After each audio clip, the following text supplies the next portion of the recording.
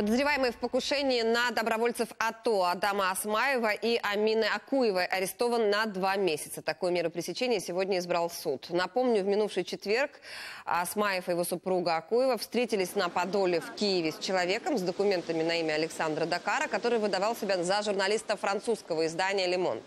Он несколько раз выстрелил в Асмаева, после чего Амина Акуева открыла огонь в нападавшего из наградного оружия. Оба раненых были госпитализированы в тяжелом состоянии состоянии в киллере опознали россиянина по прозвищу Динго, который якобы близок к Рамзану Кадырову. Таким образом, ему удалось оформить, каким образом ему удалось оформить украинское гражданство в Министерстве внутренних дел, не объясняют.